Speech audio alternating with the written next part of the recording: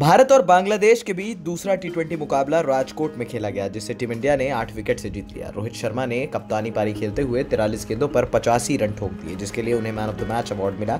Match में ऋषभ पंत फीके साबित हुए, विकेट के पीछे उन्होंने कई गलतियाँ की। खराब फॉर्म से जूझ रहे ऋषभ पंत विकेट के पीछे भी कुछ खास नहीं कर पाए। इस बार उन्होंने बड़ी गलती कर डाली, जिसके लिए उनकी खूब आलोचना हो रही है। लोग उनसे पूर्व कप्तान महेंद्र सिंह धोनी से पार्ट लेने का काम कह रहे हैं। ऐसे में हम आपको इस खास रिपोर्ट में बताने जा रहे हैं कि ऋषभ पंत ने ऐसी कौन सी गलती कर दी जिसके बाद लोगों को धोनी की याद आ गई। दरअसल टीम इंडिया ने टॉस जीतकर बांग्लादेश को पहले बल्लेबाजी के लिए बुलाया। बांग्लादेश ने शानदार शुरुआत की और भारतीय गेंदबाजों को खूब पिटाई की। मैच के छठवें ओवर में युजवेंद्र चहल की गेंद पर लिटन दास ने आगे बढ़कर शॉट खेला। पंत के पास आउट करने का पूरा मौका था, लेकिन उनकी गलती से दास को जीवनदान मिल गया।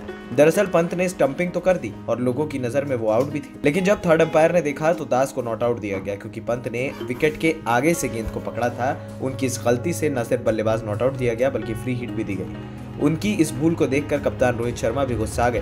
दूर से वो पंत को चिल्लाते हुए देखे गए। भारत ने दूसरे टी ट्वेंटी अंतर्राष्ट्रीय मैच में बांग्लादेश को आठ विकेट से हराकर तीन मैचों की श्रृंखला एक एक से तो बराबर कर ली। बांग्लादेश के एक सौ चौवन रन के लक्ष्य का पीछा कर रहे भारत ने चार दशमलव दो ओवर शेष रहते दो विकेट पर एक सौ चौवन रन बनाकर आसान जीत दर्ज की। दोनों के बीच तीसरा टी मुकाबला नागपुर में रविवार को खेला जाएगा। एएनपी न्यूज़ रूम की रिपोर्ट।